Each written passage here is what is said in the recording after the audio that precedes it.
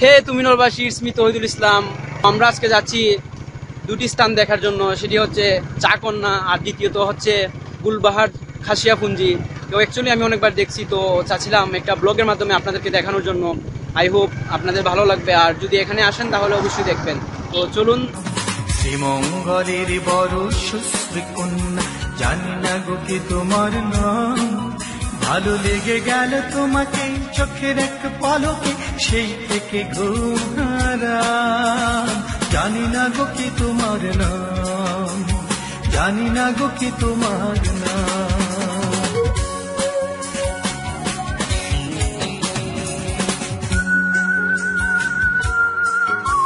আষাঢ়ের রাশি রাশি বৃষ্টির শেষে চায়ের পাতায় জমে জল। তুমি দুরন্ত প্রজাপতি, বহমান মধুমতি, সোনার দেশে কি চঞ্চল? আষাঢ়ের রাশি রাশি বৃষ্টির শেষে চায়ের পাতায় জমে জল। তুমি দুরন্ত প্রজাপতি, বহমান মধুমতি, সোনার দেশে কি চঞ্চল? কবির যত কবিতা নাটোরের বনলতা। কবি হলে সব ছড়িয়ে যেতাম জানি না গো কি তোমার নাম। জানি না গো কি তোমার সো এখানে দেখতেই পাচ্ছেন সবাই একসাথে জড়ো হয়েছে। জড়ো হওয়ার পর একজনের পর একজন সিরিয়াল মেনটেন করে, সামনে একটা ট্র্যাক্টর রাখা আছে, এই ট্র্যাক্টরে পাতা জমা দিবে। জমা দেওয়ার পর এই পাতা যাবে নির্দিষ্ট স্থানে, গোডাউনে। গোডাউনে যাওয়ার পর ওজন দেওয়া হবে। ওজন দেওয়ার পর এই পাতা আবারও ফ্যাক্টরিতে যাবে। ফ্যাক্টরিতে যাওয়ার পর হবে চা উৎপন্ন। হচ্ছে চাকন্যা দেখতেই পাচ্ছেন, খুব নিকটে প্রায় বিশ গজ দূরে আছে হয়তোবা।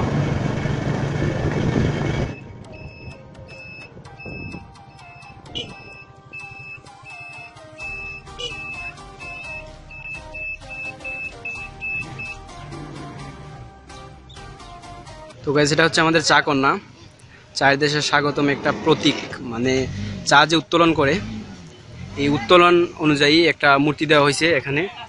চায়ের দেশে স্বাগতম। আশেপাশে আছে অপরূপ সৌন্দর্য, চা বাগান।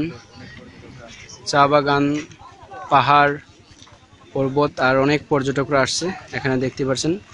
যারা শ্রীমঙ্গল হয়ে সিলেট অথবা সিলেটের বাইরে এখানে অনেকেই দাঁড়ান দাঁড়িয়ে এই অপরূপ সৌন্দর্য উপভোগ করে, তারপর যান। অনেক পর্যটক আসছে। আর পাশেই আছে অনেক সুন্দর চা বাগান। তো গাইজ ফাইনালি আমরা মূর্তি তো দেখালাম, আর এটা হচ্ছে মূর্তির পার্শ্ববর্তী একটা রাস্তা। এটা হচ্ছে আলিয়াচড়া খাসিয়াপুঞ্জি। তো এখন আশা করি এটার ভিতরটা আমি দেখাতে পারব। তো চলুন, এটার ভিতরে যাওয়া যাক। তো এটা হচ্ছে রাস্তা। এই রাস্তা অপরূপ রাস্তা ধরে যেতে হয় আলিয়াছড়া পুঞ্জিতে। তো আমরা যাব এখন আলিয়াছড়া পুঞ্জিতে। তো সাথেই থাকুন, আশা করি ভালো কিছু দেখাতে পারব। পুঞ্জিতে আমরা যাচ্ছি, সেটা হচ্ছে আলিয়াছড়া গুলবাহার পুঞ্জি। তো এটা শ্রীমঙ্গলের মধ্যে অন্যতম একটি পুঞ্জি, আলিয়া পুঞ্জি। এখানে পান, সুপারি, লেবু, চা উৎপন্ন হয়। আর বিভিন্ন কারুকার্য আছে তারা নিজের হাতে করে থাকে। তো আমি জানি না সেগুলো দেখাতে পারব কিনা, কিন্তু আই হোপ পুঞ্জিটা দেখাতে পারব। একটুখানি ফাইনালি আমরা প্রবেশ করতেছি আমাদের আলিয়াচড়া গুলবাহার পুঞ্জিতে। তো আশা করি কিছু ভালো কিছু দেখাতে পারব।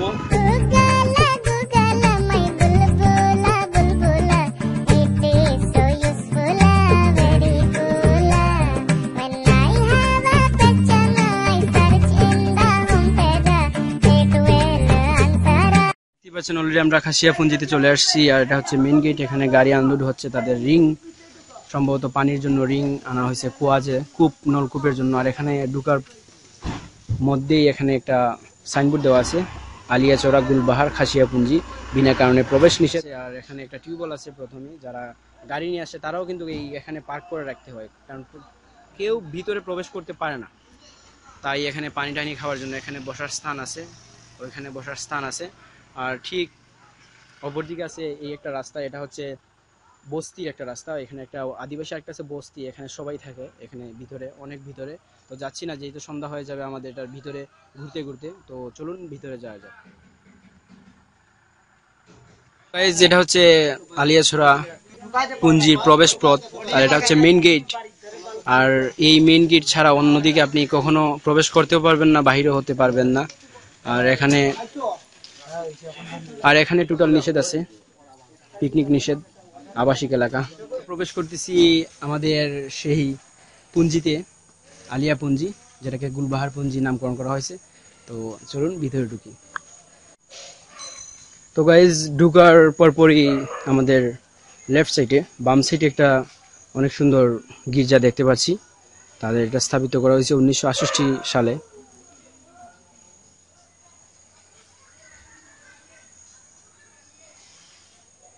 আর ভিতরে অনেক সুন্দর একটা গির্জা আছে। আমি ওইটাও দেখাবো আপনাদেরকে, যা পারি।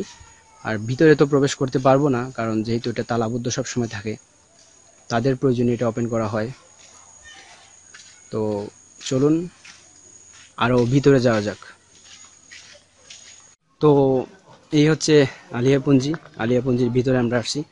আর যেহেতু এখানে একটা আদিবাসী বসবাস করে, সেই তো সব স্থানে ভিডিও মেকিং করা সম্ভব না তারপর যে যে স্থানে করা যায় আমি আই হোপ আমি চেষ্টা করব। অনেকে হয়তো ভাবতে পারেন যে পাহাড়ের ভিতরে কি আছে কিন্তু এখানে সব কিছু আছে। এখানে হকার আসতেছে দোকানপাট সব আছে। যেটা প্রয়োজন আপনার সেটা পাইবেন কোনো প্রবলেম নাই। ভাই হ্যাঁ সবকিছু আছে। সবকিছু এখানে সবকিছু পাবেন। হ্যাঁ। আপনি যদি আসেন গাড়ির সুবিধা রয়েছে রাস্তার সুবিধা রয়েছে খাওয়া দাওয়ার সুবিধা হ্যাঁ, রয়েছে গাছপালা। ছোটখাটো দোকানপাট রয়েছে। দেখতেই তো পাচ্ছেন অসাধারণ একটি স্পট যা আপনারা কল্পনা করতে পারবেন। না আসেন সে জায়গাতে না আসলে না আসলে বুঝাই যাবে না। আর যেহেতু আমি নতুন ভিডিও মেক করি তো আমি কিন্তু পারতেছি না মানে ঠিক মতো করতে। এটা হচ্ছে তাদের একটা ঘণ্টা। তো এই ঘণ্টা কখন বাজে আমি জানি না টাইমটা তো এটা দুই হাজার তেরোতে স্থাপিত করেছে দশ ছয় দুই হাজার তেরোতে। অনেক লম্বা একটি ঘণ্টা। আর এটা একটা ছোট একটি গাছ হেওড়া গাছ। এটাকেও ক্রিসমাস করা হবে ভবিষ্যতে। না জুমন ভাই? আর জুমন ভাই আমরা তোমার ওপিনিয়ন নেব পরবর্তীতে মানে এটা সম্পর্কে তুমি বলতে হবে কিন্তু। যে ফেরিওয়ালা হকার। বলছে যে আপনাদেরকে তারা খ্রিস্টান ধর্মের অবলম্বী তাই তো একটা ক্রিসমাস কারণ ক্রিসমাসের সময় তারা এটা হয়তো বা লাইট দিয়ে সাজানো হয়। আর দেখতেই পাচ্ছেন যে পান তারা সংরক্ষণ করে এনে তারপর এই পান খাওয়ার উপযোগী করছেন। আর এই হচ্ছে পান। যে পান বাহিরে যাবে। একটা খাঁচার মধ্যে কলা পাতা দিয়ে তারপর পেঁচানো হয়েছে।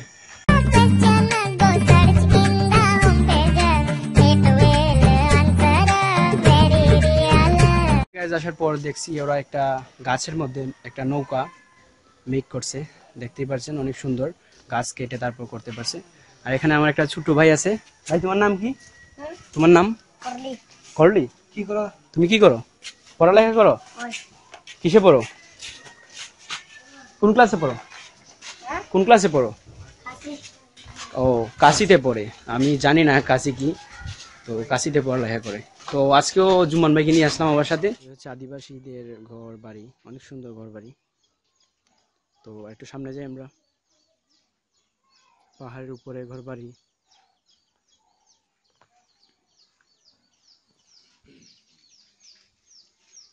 কত সুন্দর একটি সিঁড়ি বাঁধানো বাড়ি। এটা একটা সিঁড়ি দিয়ে উঠতে হয় এই বাড়িতে। কিন্তু বাড়ি কিন্তু একতলায় দুতলা না, একতলায় কিন্তু সিঁড়ি দিয়ে উঠতে হয়। আর এই চতুর্দিকে পাহাড়, পর্বত। আমাদের সিলেটের ভাষায় একটি কথা আছে যে, তাদের টাকা গাছে ফলে। তাদের টাকা গাছে ফলে বলতে তারা সবচেয়ে বেশি পান চাষ করে। যে দেখুন, শুধু পান গাছ, প্রতিটা গাছের মধ্যে একটি করে পান গাছ আছে।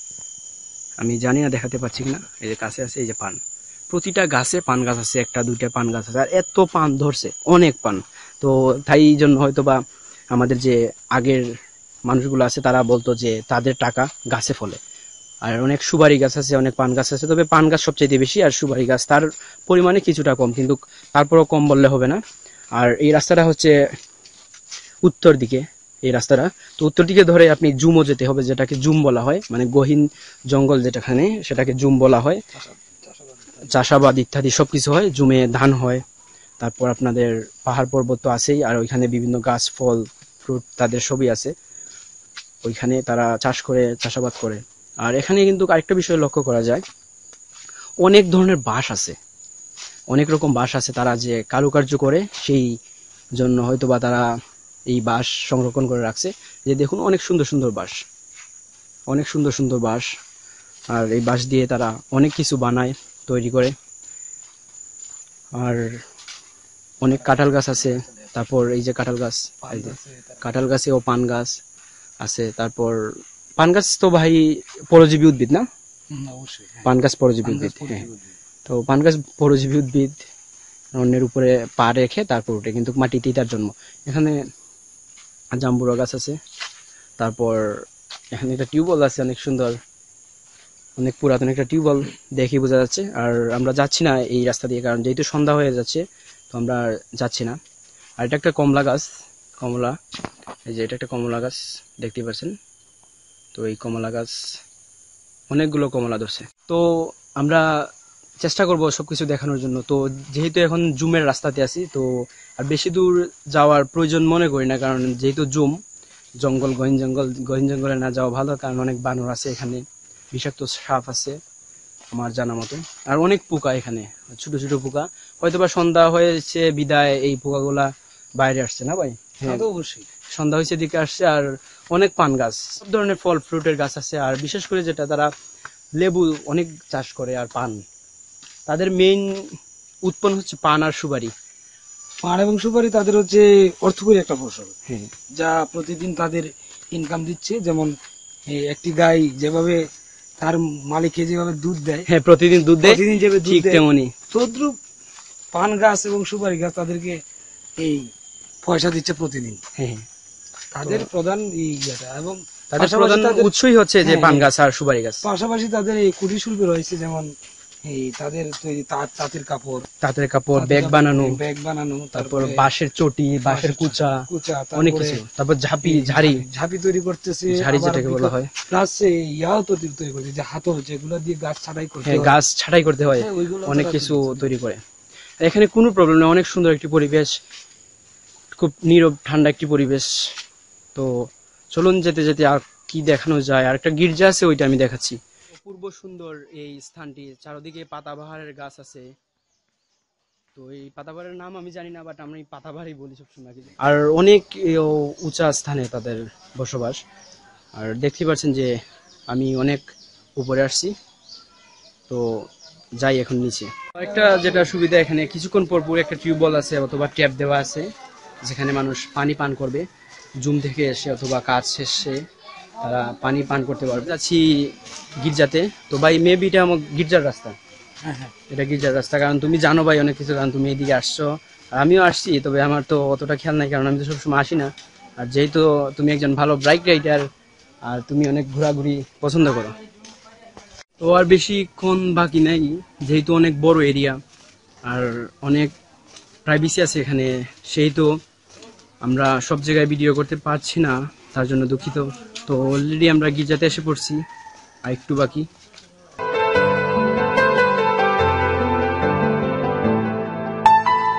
তো গাইজ এই হচ্ছে গির্জা, এই হচ্ছে একটা প্রাথমিক বিদ্যালয়।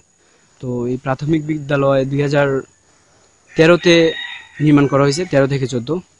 আর ঠিক আশ্চর্য বিষয় হচ্ছে, এটা একটা কিন্তু পাহাড়ের উপরে। তো পাহাড়ের উপরে যেহেতু এখানে একটা প্রাথমিক বিদ্যালয়, সেহেতু আরেকটা পাহাড়ের উপরে একটা বাড়ি আছে, ঠিক পাশেই রাস্তা, অনেক উপরে।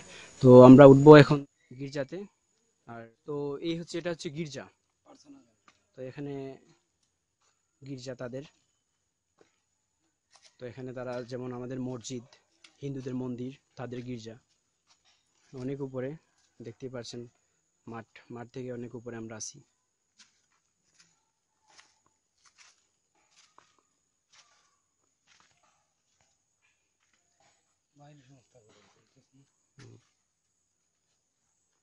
এখানে আমরা যদি একটা সাইনবোর্ড লক্ষ্য করি, তাহলে দেখা যাবে এখানে সাইনবোর্ডটা। আর হচ্ছে বিবি মারিয়ার একটি মূর্তি স্বরূপ আমি জানি না, যদি ভুল হয় তাহলে ক্ষমা করবেন, কারণ আমি জানি না ওদেরকে কি বলা হয়। আমি মূর্তিস্বরূপেই এখানে আখ খাইতে বললাম, আমি বললাম, যদি আমার ভুল হয়ে থাকে তাহলে ক্ষমা করবেন। যদি অন্য কিছু বলে তাহলে কমেন্ট বক্সে অবশ্যই জানাবেন।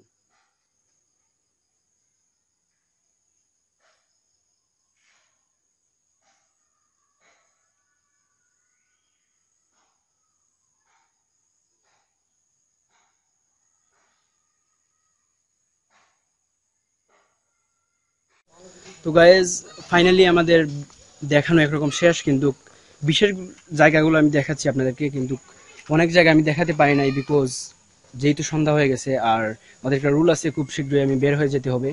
কারণ আমি সেই রুলটা আমি জানি জুমান কাছ থেকে জেনে নিয়েছি। আর বিশেষ জায়গাগুলো আমি দেখানোর চেষ্টা করছি। আই হোপ আরও সামনেতে আরও ভালো ভিডিও আপনাদেরকে দিতে পারব। আর এখন চলে যাব বাসায়, যেতে যেতে কথা হবে আপনাদের সাথে। তো অনেক নিচে দেখে শুনে নামতে হবে। আর যেহেতু আমার এটা প্রথম প্রথম ভিডিও তো একটু প্রবলেম হবে হবে আমার কথাবার্তায়, তো তার জন্য ক্ষমা প্রার্থী আমি আপনাদের কাছে। তো গাইজ ফাইনালি দেখতে দেখতে অনেক কিছু দেখে ফেললাম, আর যে যে স্থানে ভিডিও মেকিং করা যায়, সেই স্থানে আমি করছি। আই হোপ আর কিছু কিছু স্থানে আমি করতে পারি নাই বিকজ ওইখানে কথাবার্তার ছলে সময় কেটে গেছে অনেক, আর সন্ধ্যা হয়ে গেছে। আর এখন চলে যাচ্ছি আমাদের গন্তব্যস্থানে, বাসার উদ্দেশ্যে। আর এখন আমরা বাইর হবে, যাব সেই পুঞ্জি থেকে তারপর আবার সেই আমাদের আশ্চর্য মূর্তি দেখে চলে যাব বাসায়। আর জুমান ভাই, আমি তোমার ওপিনিয়ন চাচ্ছিলাম। মানে এটা সম্পর্কে একটু যদি বলো, অনেক খুশি হব। আর অডিয়েন্সটা দেখবে, বলো। কি বলব আপনাদের কি? আসলে আপনারা যদি না আসেন, আর আমাদের সিলেটের মধ্যে এত সুন্দর একটি জায়গা, যা শ্রীমঙ্গল সাতগা চা বাগানের পার্শ্ববর্তী স্থানে আলিয়া গুলবাহারপুঞ্জি নামে পরিচিত।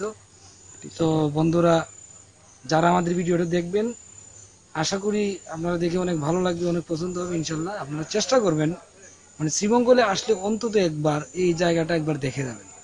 আমি কি বলে বোঝাবো? আসলে সব জায়গায় ভিডিও তো করতে পারিনি আমরা কারণ প্রাইভেসির সমস্যা বিভিন্ন ধরনের নিষেধাজ্ঞা রয়েছে সেই জন্য আমরা আসলে আপনাদেরকে সব জায়গা দেখাতে পারি নাই। তো বন্ধুরা আপনারা সবাই আসবেন দেখে যাবেন। পরবর্তী ভিডিওতে আমরা চেষ্টা করব আরও এটার ভিতরে যে অনেক কিছু আছে তাও আপনাদেরকে দেখানোর চেষ্টা করব। যেটা হচ্ছে তাদের মেইন পুঞ্জির যে রাস্তা প্রবেশ পথ এমনকি এক্সিট ইন এই দুটোই একটাই পথে কারণ অন্য কোনো পথ নেই যে আপনি ঢুকে বের হয়ে যাবেন বা বের হয়ে ঢুকবেন মানে এমন কোনো রাস্তা নাই আর শুধু একটাই রাস্তা আছে আর সেটা হচ্ছে মেইন গেট আর এখানে আপনাদের আবাসিক এলাকা সম্পর্কে মানে কি কি প্রয়োজনীয় আছে এখানে নিষেধাজ্ঞা বা অনুমতি এখানে লেখা আছে আপনাদের এখানে। এখানে বিশেষ যেটা, এটা পাঁচ ঘটিকা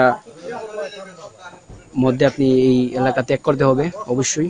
আর এখানে যেটা, পিকনিক নিষেধ। আর অলরেডি যেহেতু এটা আমার নিজের এলাকা, সেহেতু পাঁচটার উপরে বেঁচে গেছে তারপরও আমার কোনো সমস্যা হয় নাই। আপনারা দেখতে পাচ্ছেন, আমার ঘড়ি দেখাচ্ছি।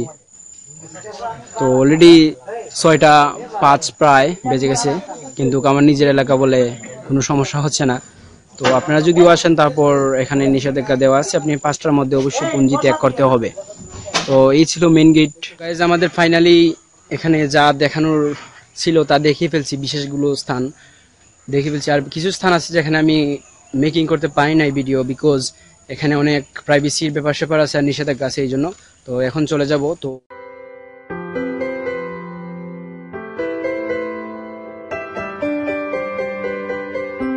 গাইস ফাইনালি আমরা ত্যাগ করতেছি। আমাদের সেই চাকন্যা অপরূপ সৌন্দর্য চাকন্যা ত্যাগ করে চলে যাচ্ছি বাসার দিকে। তো যতটুকু কন্যা দেখা যাচ্ছে, আপনারা কন্যাকে দেখতে থাকুন। আর আমার সাথে থাকুন। আর দেখা হবে অন্য কোনো একটা ভালো একটা ভিডিওতে। আরও ভালো কিছু যেহেতু নতুন ভিডিও সেহেতু ভুল ত্রুটি হতে পারে। আমার দেখবেন। Thank you for watching please like comment share good day goodbye